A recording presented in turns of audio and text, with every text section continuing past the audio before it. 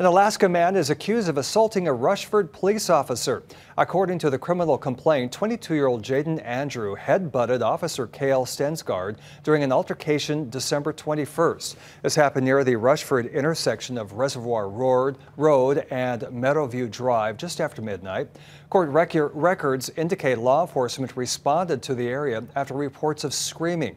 Authorities say Andrew had punched an unnamed woman in the face and when confronted, Andrew allegedly headbutted Officer Stensgaard above his right eye.